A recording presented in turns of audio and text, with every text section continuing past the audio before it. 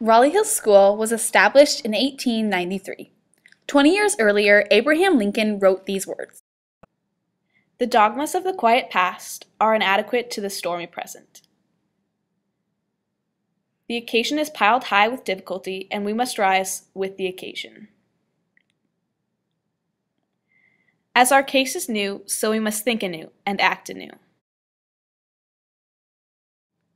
We must disenthrall ourselves and then we shall save our country.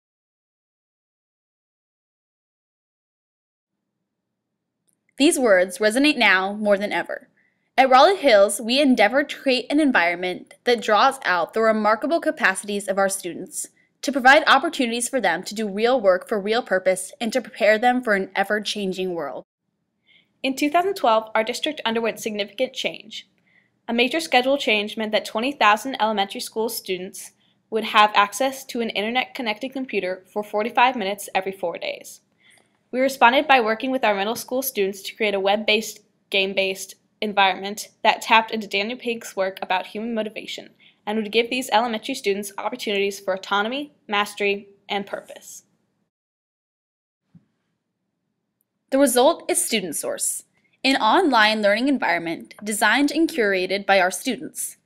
Our students created modules that were tied to learning targets and included original videos as well as links to educational videos, games, and activities from the web. Elementary students from our district and beyond accessed these resources as part of the Technology Times. The website has had over 6 million page views in its first year.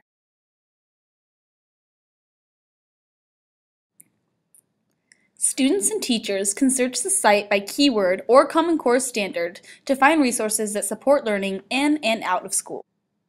Most recently, students have started to program the educational games themselves, designing and coding every aspect of the games to support the learning of our elementary students. When students and teachers labor together to do real work for real purpose, we can reimagine what our schools feel like. By giving students a voice and role in their own learning empowers them and prepares us all for an unknown future. Let's think anew and act anew.